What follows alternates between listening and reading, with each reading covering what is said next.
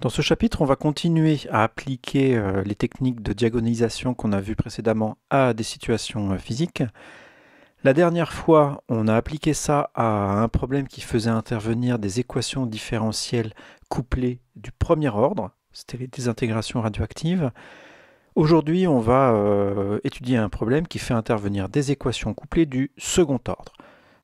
Et on va voir que la diagonalisation peut encore une fois être une euh, technique possible pour résoudre ce genre de problème. Alors, plus précisément, voilà le problème auquel on va s'intéresser. On va avoir deux masses euh, M reliées par un ressort et on va s'intéresser au mouvement de ces masses quand on perturbe le système depuis sa position d'équilibre. Alors, ce système va être, euh, on va supposer qu'il est posé sur un plan et qu'il n'y a, a pas de frottement du tout. Tout ça pour dire qu'on ne va pas considérer de force verticale, Seul le mouvement horizontal va ici euh, m'intéresser. Et euh, bah, on va écarter, comme je viens de le dire, le système de sa position d'équilibre, par exemple en étirant le, ressort ou en faisant autre chose, on verra quoi. Et, euh, l'idée, c'est de voir comment est-ce que les, les, masses, l'écart des masses par rapport à leur position d'équilibre évolue au cours du temps. Alors j'ai repéré ici par des pointillés les positions d'équilibre. Du coup, ce que j'appelle L ici, c'est la longueur à vide ou la longueur au repos du ressort, et K, sa constante de raideur. Et ce que je note ici, petit x1 et petit x2, ce sont les positions des masses relatives à leur position d'équilibre. Quand on fait l'analyse de ce problème mécanique, on trouve que les équations du mouvement s'écrivent de la manière suivante m fois x1 point point, donc ça c'est m fois l'accélération de la masse 1, c'est égal à, puis on trouve en faisant un bilan des forces, euh, on trouve le terme qui est là, je ne vais pas faire ici euh, l'analyse complète, vous pourrez le faire aussi bien que moi. Donc on trouve que euh, m fois x1 point point, c'est égal à moins k fois x1 moins x2. Donc là on reconnaît ici l'allongement du ressort. Et pour la masse m2, on trouve une équation très similaire où simplement il suffit d'échanger 1 et 2, et on trouve l'équation qui est ici. Ça se met sous cette forme-là si je divise des deux côtés par m. Et euh, si je pose oméga carré égale k sur m, comme on le fait euh, tout le temps dans, cette, euh, dans ce genre de situation, ça, c'est la dimension d'une pulsation. Hein, donc ça, c'est la dimension du k. Ça, c'est la dimension du carré d'une pulsation, donc je, définis ça comme oméga 2, et du coup je peux, en définissant cette grandeur, réécrire les deux équations qui sont ici sous la forme d'une seule équation matricielle qui est là. Donc voilà, c'est vraiment cette équation matricielle-là à laquelle on va s'intéresser et qu'on va chercher à résoudre. On aura besoin des, conditions initiales pour, euh, pour, résoudre complètement le problème. Donc ce que je vais considérer que j'en aurai besoin, c'est qu'au temps initial, les x1 et x2 sont nuls, c'est-à-dire que les deux masses sont à leur position d'équilibre. Et d'autre part, qu'on donne une vitesse à la masse 1, mais on ne touche pas à la masse 2. En fait, c'est une pichenette. On donne une petite pichenette à la masse 1 vers la droite, à la vitesse v, et la masse 2, on n'y touche pas. Donc pour résoudre ces équations, une méthode, c'est de diagonaliser la matrice T comme on l'a fait déjà dans euh, les cours précédents. C'est parti. Alors un avertissement, euh, ici on est dans un cas euh, d'une matrice 2-2, je la, je la remontre, elle est ici.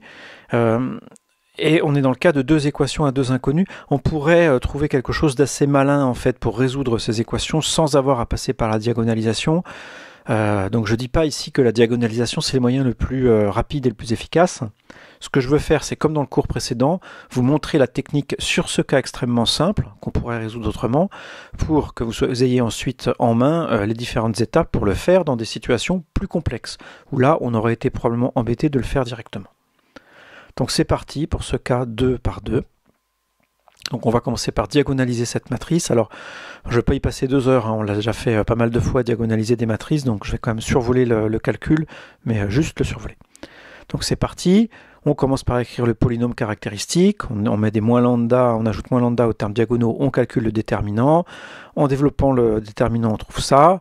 Euh, bah, ça, quand on développe, on tombe assez rapidement sur cette forme-là, et on peut mettre lambda en facteur, et on trouve que les deux racines, c'est lambda égale 0 et lambda égale moins 2. Donc voilà les deux valeurs propres. Maintenant pour les vecteurs propres, je commence par euh, le vecteur propre associé à lambda égale 0.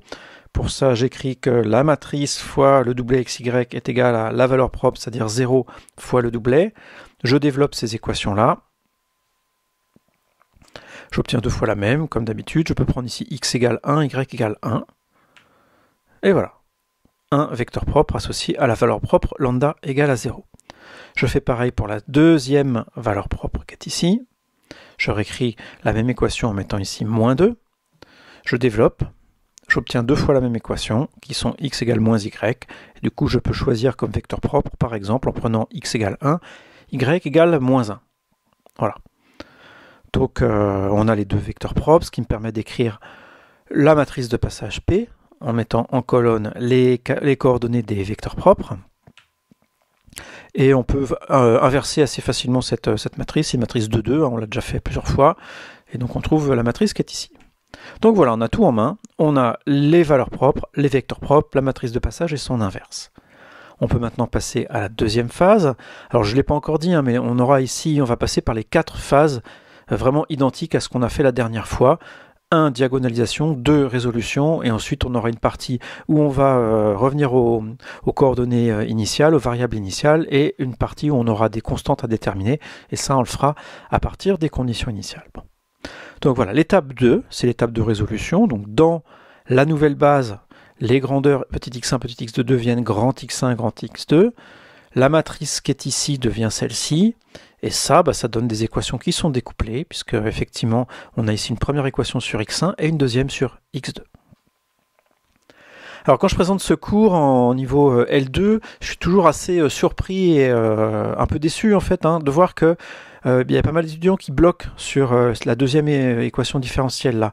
Par exemple, certains pour résoudre ça intègrent deux fois par rapport au temps en multipliant ici par un demi de t carré, ce qui n'est pas du tout la bonne chose à faire puisque x2 n'est pas une constante, c'est précisément la fonction qu'on essaye de déterminer. Hein. Bon, donc ça, je vous le rappelle, c'est une équation différentielle. Il y a plusieurs manières de les résoudre, mais peu importe la, manière, je vous demande de connaître le résultat par cœur. L'équation x point point est égale à moins a fois x où grand A est une constante positive, elle a pour solution cette expression-là, où K1 et K2 sont des constantes, on appelle ça des constantes d'intégration, et où ici dans le cosinus on a racine de A fois T, et dans le sinus aussi. Donc les solutions de ça, c'est ça. Bim, il n'y a pas à réfléchir, vous l'écrivez, vous le savez, ça vous prend deux secondes et demie. Du coup, je reviens au problème qu'on se posait, qui était celui-là. Ben, on reconnaît ici une équation de la forme que je viens d'écrire. La première, elle est elle aussi assez facile à intégrer. On trouve les deux solutions qui sont là. Donc la première, si j'intègre deux fois, j'obtiens ça, où A et B, ce sont des constantes d'intégration. Et pour la deuxième, comme je viens de le dire, j'obtiens ça, où j'ai appelé ici les constantes petit c et petit d. Ensuite, je veux revenir aux variables de départ. Donc moi, ce qui m'intéresse, c'est pas grand x1 et grand x2, mais c'est petit x1, petit x2. Donc pour ça, bah, j'utilise la matrice de passage. J'écris que les anciennes coordonnées sont obtenues à partir des nouvelles par la matrice de passage P, que j'avais écrite là-haut, et donc par la relation matricielle qui est ici.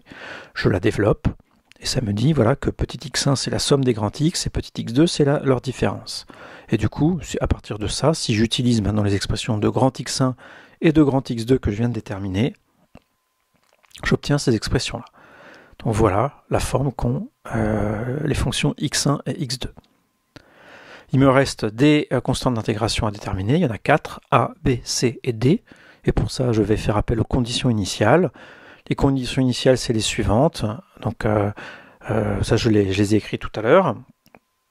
Alors je rappelle ici dans le texte pourquoi j'ai écrit ça. Donc les, constantes, d'intégration qui interviennent dans les expressions précédentes sont déterminées par les conditions initiales. Et on va supposer par exemple qu'à t égale 0, le système est à l'équilibre. Donc ça, ça nous dit que petit x1 égale 0 et petit x2 égale 0. C'est ce que j'ai écrit là. Et euh, d'autre part, on donne une pichenette sur la masse de gauche et ça, ça donne les, euh, conditions sur la vitesse que j'ai aussi écrites. Je vais les réécrire euh, dans 30 secondes. D'abord, considérons ça. Ça, c'est donc la condition initiale sur les positions des x. Je sais que les grands x sont reliés au petit x par p-1, donc at égale 0. Les, euh, les grands x1 et grands x2 sont donnés par p-1 fois les petits x1, petit x2 at égale 0, qui sont donnés par le doublet 0, 0. Donc voilà comment s'écrit le doublet x1, x2 at égale 0. Or ça, je sais ce que ça vaut, je peux aller le chercher. Je connais les expressions ici de x1 et de x2, donc je vais faire t égale 0 là-dedans. Par exemple, pour x1, je vais aller chercher là, je fais t égale 0, et ça, ça me dit que ça vaut b. Voilà, le terme qui est ici vaut b. Pour x2, c'est vraiment très similaire, je vais aller chercher là-dedans l'expression de x2 à t égale 0, donc je fais t égale 0 là-dedans, j'obtiens l'expression qui est ici. Ça me donne donc C, puisque le sinus de 0 ça fait 0 et cos de 0 ça fait 1. Et donc, bah, le terme qui est ici, il vaut simplement C. Donc ça, ça me dit que euh, le doublet BC est égal à P-1 fois 0, 0. Je n'ai même pas besoin ici de savoir ce que vaut P-1, puisque n'importe quelle matrice multipliée par le doublet 0, 0, ça donne le doublet 0, 0. Et j'obtiens donc que B égale 0 et C égale 0. Donc voilà, on vient de déterminer deux des constantes d'intégration. Il en reste deux. Pour ça, je vais utiliser la condition sur la vitesse. Donc j'ai écrit ici euh, les conditions initiales sur x1 point et x2 point. Or, les grands x points sont reliés au petit x point par p-1. Il suffit de dériver la relation qui est ici. p-1, c'est une matrice qui est constante, hein, donc elle n'est pas affectée par la dérivée. Donc cette expression-là, une fois qu'on la dérive, donne celle-là. Et ça, ça relie donc les grands x points au petit x point. C'est parti. Donc là, c'est l'expression qui est ici prise à t égale 0. Donc j'ai remplacé du coup les x1 points et les x2 points par le doublet v0. Donc j'obtiens ça. Comme tout à l'heure, je vais aller chercher les valeurs de x1 point et de grand x2 point à t égale 0. Donc pour ça, bah, je commence par dériver les expressions qui sont là pour avoir x1 point et x2 point. Donc je les dérive, j'obtiens ça. Donc là, il n'y a pas... De mystère. Hein. On dérive ici une fonction at plus b par rapport au temps, bah, ça donne ça. Et ici, on a des sinus et des cosinus à dériver, donc ça donne ça. Et ce que je veux, moi, c'est prendre ça à t égale 0. Bah, on voit qu'ici, à t égale 0, le sinus s'annule. Il reste que racine de 2 oméga d fois le cosinus qui vaut 0, fois le cosinus qui vaut 1. Et donc, on obtient ça. Et voilà, donc cette expression-là s'écrit aussi le doublet a racine de 2 oméga d est égal à P-1 fois V0. P-1, je vais le chercher, on l'avait écrit tout à l'heure, ça vaut ça. Et donc on a juste cette expression-là à développer. Je développe donc le produit matriciel qui est ici, et ça me dit que A c'est V sur 2, et D c'est V sur 2 racine de 2 oméga. Donc voilà, j'ai les quatre euh, constantes d'intégration qui sont déterminées. Je l'ai reporté ici, enfin je l'ai réécrit. Je peux maintenant ça le reporter dans l'expression du dessus. Et ça me dit ça que donc b égale 0, c égale 0, ça enlève la constante là et ça enlève les termes en cosinus. Je reporte ces termes là aussi et j'obtiens du coup ces expressions-là. Donc le problème est résolu. Voici l'évolution au cours du temps de x1 et de x2. Donc ça, je résume, ça c'est la solution de cette équation matricielle-là avec les conditions initiales qui sont là. Alors je vais faire quelques remarques. Tout d'abord, la matrice qu'on avait à diagonaliser, on peut remarquer qu'elle est symétrique. Et donc on pouvait choisir une base de vecteurs propres qui soit orthonormée. Euh, c'est-à-dire que euh, lieu de prendre 1 et 1, je pouvais prendre 1 sur racine de 2, 1, 1. Et là, pareil, en fait, je pouvais multiplier chacun des deux vecteurs par 1 sur racine de 2. Qu'est-ce que ça nous fait gagner, ça? Pourquoi je mentionne ça? Bah, Parce que du coup, quand c'est le cas, quand euh, la base de vecteurs propres est orthonormée, la matrice de passage est orthogonale. Ça, c'est une propriété que je vous ai déjà énoncée. Et pour les matrices orthogonales, il est extrêmement facile de prendre l'inverse, puisque l'inverse d'une matrice orthogonale, par définition, c'est sa transposée. Donc la P-1 dans ce cas-là est, obtenue de manière très simple. Là, euh, c'est ici un peu, euh, c'est assez académique de mentionner ça maintenant parce que la, parce que la matrice P qu'on avait dans le cas précédent n'était pas très difficile à inverser, mais quand on a des matrices 3-3, 4-4 ou plus, ça commence, euh, cette propriété-là commence à devenir vraiment, vraiment précieuse. Deuxième remarque, on a une valeur propre qui est non nulle ici, qui est négative. ça, physiquement, ça, ça a un sens et un intérêt. Ici, le fait qu'on a un signe moins, ça nous dit que les solutions sont des solutions à base de sinus et de cosinus, donc c'est des solutions qui oscillent. Si on avait eu un plus, là, si on avait une valeur propre positive, on aurait eu une solution qui est en exponentielle croissante et une exponentielle décroissante, et euh, donc ça aurait donné quelque chose qui, euh, physiquement, n'est pas du tout ce qu'on attend de la part d'un ressort. Donc ça, de manière générale, quand on a des, des équations, euh, quand on a des, valeurs propres qui interviennent comme ça dans des situations avec des équations du second ordre couplées, les euh, valeurs propres négatives indiquent des oscillations et les valeurs propres positives indiquent des, euh, des instabilités, des choses qui croissent exponentiellement au cours du temps. Enfin, troisième remarque, on a ici une euh, valeur propre nulle, et ça, ça correspond à un déplacement à vitesse constante, c'est le terme qui est ici. euh, c'est le déplacement du centre de masse en fait. Hein. Si, je regarde ce que c'est que x1, grand x1, grand x1, on peut montrer avec les équations qui précèdent que c'est un demi de petit x1 plus, petit x2, donc c'est vraiment la position du centre de masse. Effectivement, ça, ça va être quelque chose de général. La valeur propre nulle correspond effectivement au déplacement du centre de masse. Alors on va regarder à quoi ressemble la, solution. Déjà j'ai commencé par la, par la tracer. Donc ici ça c'est x1 et l'autre c'est x2 en fonction de oméga t. Euh, et je vais aussi vous, bah, plutôt vous montrer le mouvement, en fait, c'est peut-être plus, plus parlant. Donc on a ici les deux masses qui sont à leur euh, position initiale. Je donne une pichenette sur la masse de gauche, voilà. Et voilà comment ça évolue. Donc la masse de, gauche pousse la masse de droite qui s'éloigne et du coup se met à tirer euh, la masse de gauche. Quand le ressort est comprimé, les, deux corps se repoussent. Et quand le ressort est étendu, les deux masses s'attirent.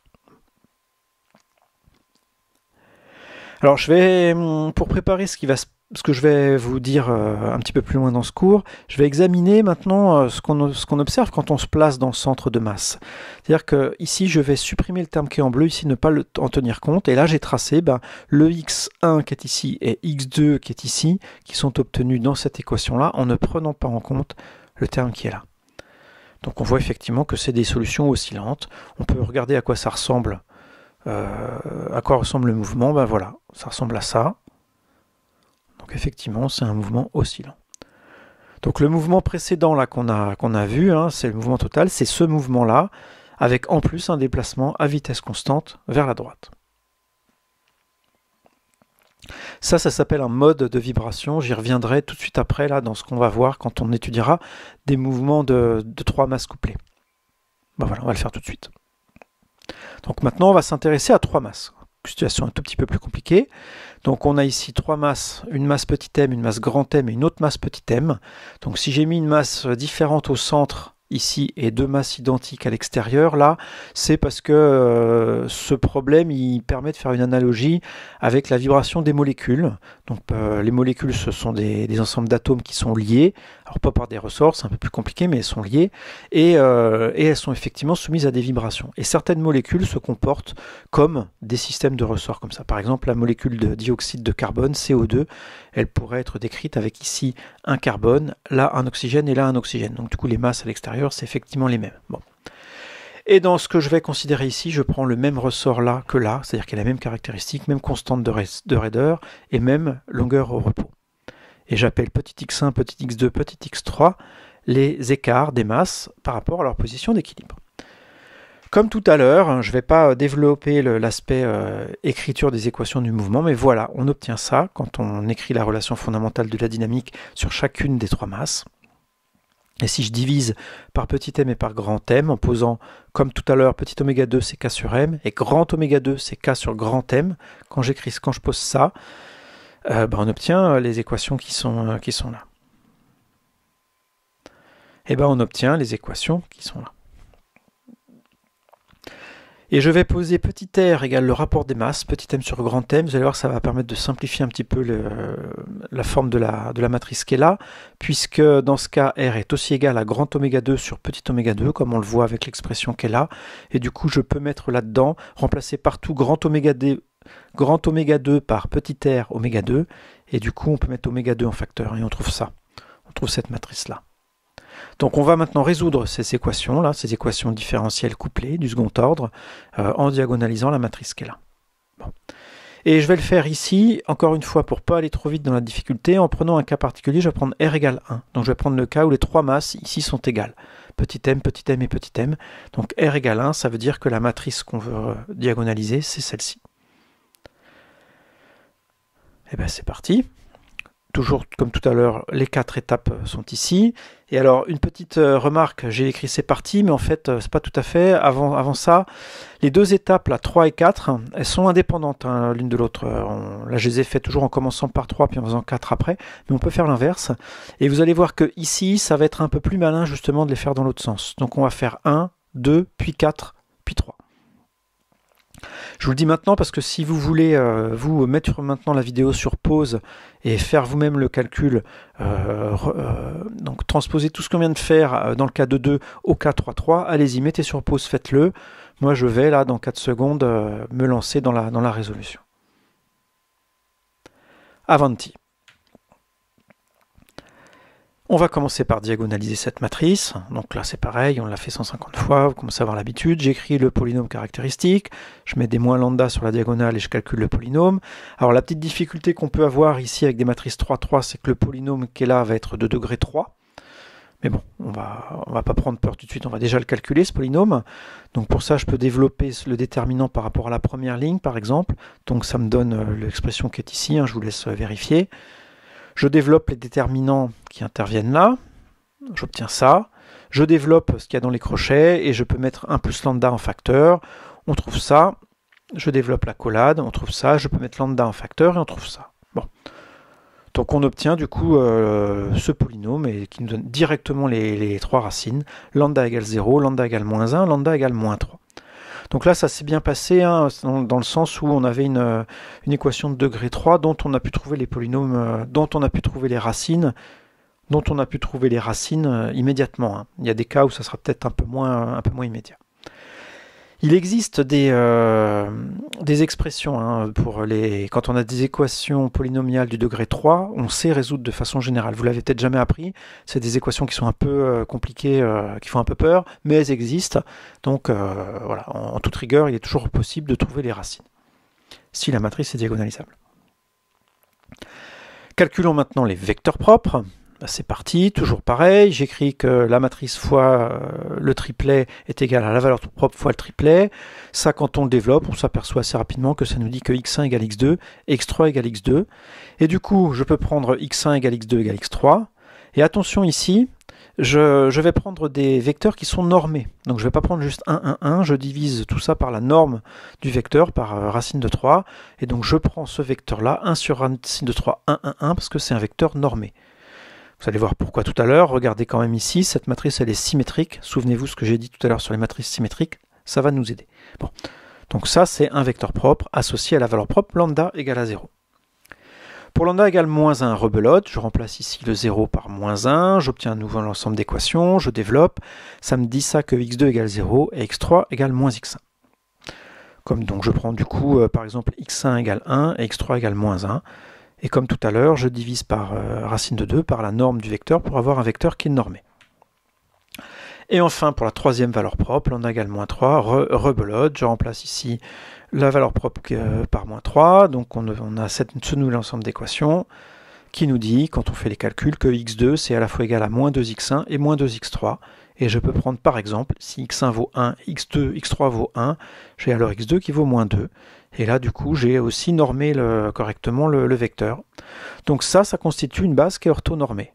Elle est normée parce que j'ai choisi des vecteurs normés, et elle est orthogonale. On peut le vérifier en faisant les produits scalaires 2 à 2 de chacun de ces vecteurs, mais aussi simplement en s'apercevant que cette matrice est symétrique et qu'on a trois valeurs propres distinctes. Donc ça, c'est une propriété que j'avais énoncée. Dans ce cas-là, les vecteurs propres associés à des valeurs distinctes sont orthogonaux, entre eux. Et maintenant que j'ai les vecteurs propres, bah, je peux écrire la matrice de passage. J'écris donc en ligne les coordonnées des trois vecteurs propres. Et c'est ici qu'intervient la propriété intéressante. Comme euh, la matrice P est, diagonale, P-1 c'est simplement la transposée de P. Je l'écris ici sans aucun calcul. Donc ça, c'est fait. On a diagonalisé la matrice.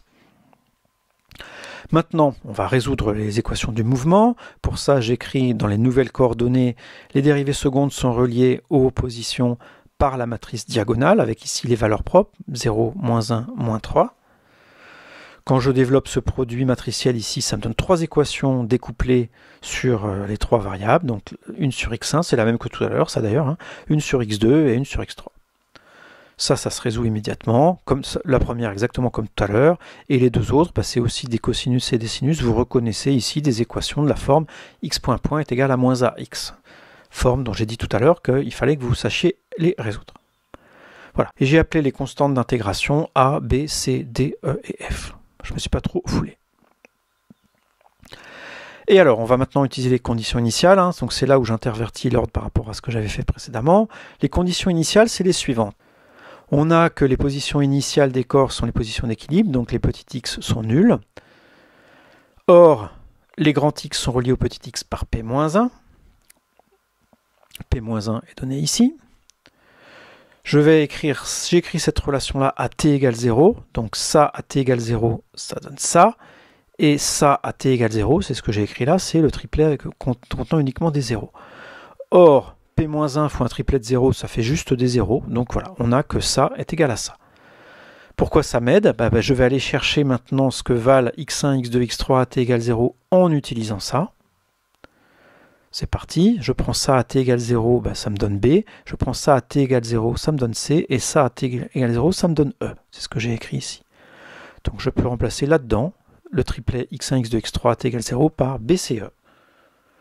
Et ça, ça me dit que B, C et E sont tous les trois nuls. Et du coup, voilà, c'est là où c'était intéressant de d'écrire euh, les conditions initiales tout de suite, c'est que maintenant, comme B, C et E sont 0, je peux les enlever de là-dedans. Je n'ai pas besoin de m'en préoccuper. Voilà, grand X1, grand X2 et grand X3, ça vaut juste ça. Et je vais du coup pouvoir prendre en compte les conditions initiales sur la vitesse avec ces formes simplifiées là pour euh, les grands X. Alors, c'est parti, les conditions initiales sur la vitesse. Alors j'avais cette relation sur la position. Quand je dérive cette relation par rapport au temps, j'obtiens celle-ci. Or, le terme qui est ici, les dérivées temporelles des petits x, bah, c'est mes conditions initiales. at égale 0, ça vaut v 0 et 0. Ça, c'est le coup de la pichenette que je fais sur, euh, la masse 1 sans toucher aux deux autres. Et pour avoir le terme qui est ici, bah, je calcule la dérivée de x. Euh, voilà, elles sont ici. Hein. Et je les calcule à t égale 0. Donc le premier, ça vaut a. Le deuxième à t égale 0, ça vaut d oméga, et le troisième, ça vaut f racine de 3 oméga. Et donc, quand je mets ça là-dedans, j'obtiens cette équation-là. Il faut que j'aille chercher P-1 là-dedans, hein, je, l'avais là, la matrice P-1, et donc tout calcul fait, on s'aperçoit en multipliant P-1 par ça, que A est donné par V sur racine de 3, d oméga par V sur racine de 2, et F racine de 3 oméga par V sur racine de 6. Et donc on a A, D et F qui sont donnés par ces expressions-là je peux aller les reporter là-dedans. Et ça me donne grand X1, grand X2, grand X3. Voilà. Je peux maintenant passer à la dernière étape, retour aux variables de départ. Les petits x sont reliés au grand X par la matrice de passage, matrice de passage dont j'ai écrit l'expression tout à l'heure. Donc euh, j'ai réécrit P, j'ai réécrit la matrice des grands X, et donc il suffit de faire le produit matriciel qui est ici, et ça me donne, tout compte fait, les expressions qui sont là. Donc voilà, mission accomplie. On a petit x1, petit x2, petit x3 en fonction du temps. Donc là, comme tout à l'heure, je les ai représentés graphiquement. Donc ça, c'est x1, ça, c'est x2 et ça, c'est x3. Mais ça va être plus parlant, en fait, de, vous montrer à quoi ça ressemble. Donc voilà, je donne une pichenette sur la masse de, gauche qui pousse les autres. Vous voyez que c'est un peu complexe. Là, euh, il y a plusieurs mouvements qui se mélangent. Et euh, bah, on, va, on va analyser un petit peu cette, euh, ce mouvement-là. On, peut justement le décomposer en mouvements plus simples. Et ça, ça va nous, amener à la notion de mode de vibration. Et alors pour ça, j'ai réécrit ici les, la solution générale, ici avec les constantes. Euh, donc c'est un peu plus général que ce que j'ai montré avant. Grand X2, ça s'écrit sous la forme d'un cosinus plus d'un sinus. Ça, une, une, combinaison de cosinus et de sinus à la même pulsation, ça peut s'écrire aussi comme ça. Hein. C'est le cosinus d'oméga t plus une phase. Et pareil pour lui. Donc du coup, les solutions, elles sont de cette forme-là. Grand X2, c'est un cosinus qui oscille à la pulsation oméga, et grand X3, c'est un cosinus qui oscille à la pulsation racine de 3 oméga. Et quand j'écris ce que valent les anciennes coordonnées en fonction des nouvelles, donc j'écris la matrice P ici, ça je peux l'écrire sous cette forme-là, l'équation qui est ici. Le, le, vecteur qui est ici, le triplet x1, x2, x3, il s'écrit comme 1 sur racine de 3 fois le triplet 1, 1, 1 fois x1, plus 1 sur racine de 2 fois le triplet 1, 0, moins 1 de fois x2, plus 1 sur racine de 6 fois le triplet 1, moins de 1 fois x3. Donc ça, vous pouvez vérifier que, euh, que ça, c'est vraiment rigoureusement égal à ça, en développant ça, et puis en regardant ce qu'il y a sur chacun des, donc ça, ça donne un vecteur, euh, ça donne un triplet hein, quand on multiplie ces deux choses-là, et vous regardez, euh, vous identifiez euh, ce qu'il y a en haut, au milieu et en bas, à ce qu'il y a en haut, au milieu et en bas ici, et vous allez effectivement trouver la même chose. Et du coup, si je remplace grand X1, grand X2 et grand X3 parce que ça vaut, alors ici, j'ai attention, le 1 sur racine de 3, je l'ai mis dans les, dans les constantes, là, petit a, petit b, on ne sait pas ce que ça vaut, donc euh, voilà, j'ai rappelé petit a ici, euh, l'ancien petit a sur racine de 3. Pareil ici, le racine de 2, je l'ai intégré dans les constantes d'intégration dans la constante d'intégration grand A, et le 1 sur racine de 6, je l'ai intégré dans grand B. Mais tout ça pour dire que le mouvement ici euh, des petits x1, petit x2, petit x3, c'est une combinaison de ces mouvements-là. Et ce qui est assez intéressant, c'est de voir que euh, ça, ça s'interprète euh, assez visuellement.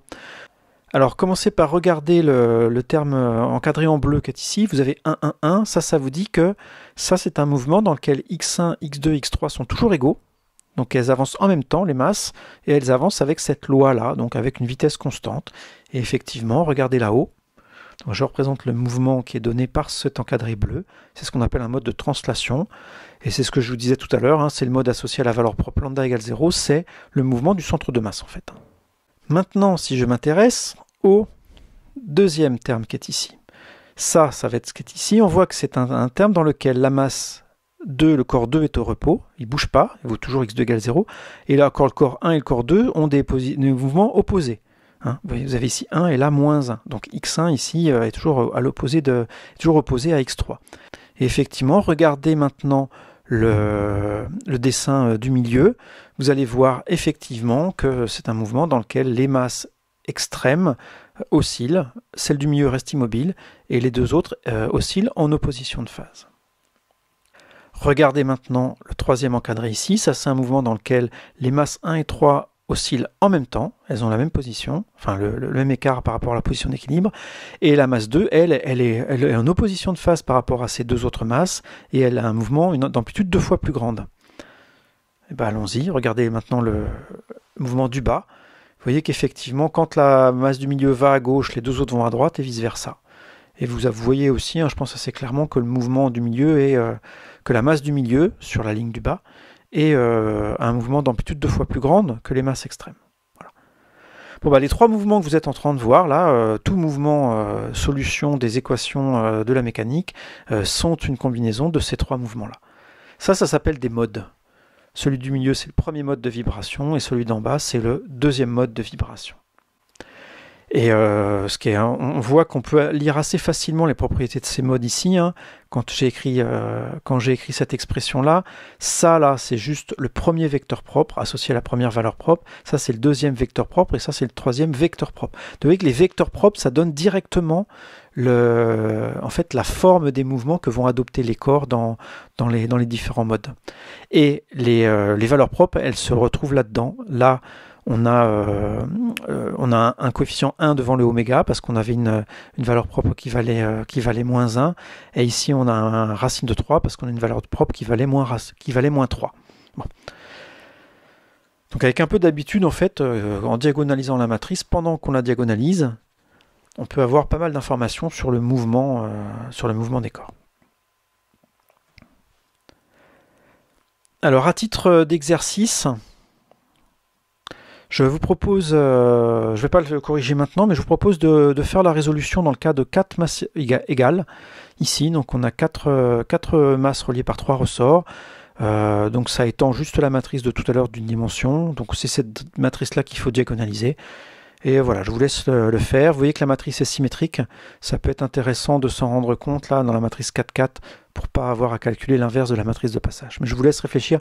Je donnerai probablement le corriger plus loin dans une autre vidéo. Et comme exercice aussi,